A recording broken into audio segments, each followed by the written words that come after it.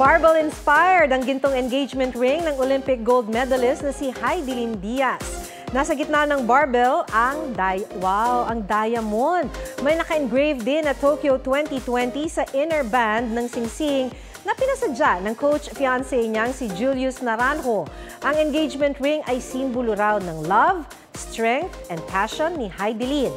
Last Friday, nangyari ang surprise proposal na inakala pa raw ni Heidelin na prank. Kainis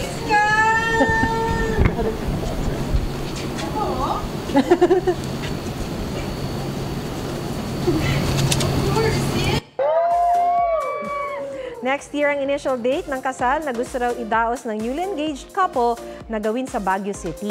Si Francis Libira naman ang gagawa ng bridal gown.